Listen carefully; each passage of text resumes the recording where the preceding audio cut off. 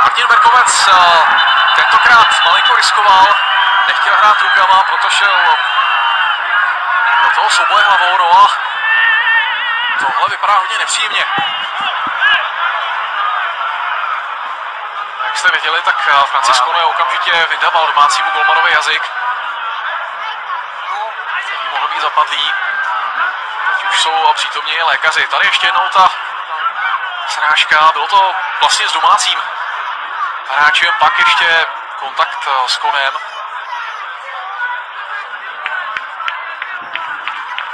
A Martin Berkovec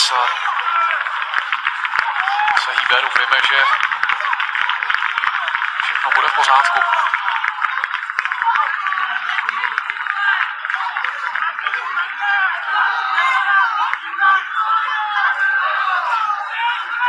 vidíte, že i hráči Slovácka tuhle chvíli zapomněli na jakoukoliv novou rivalitu a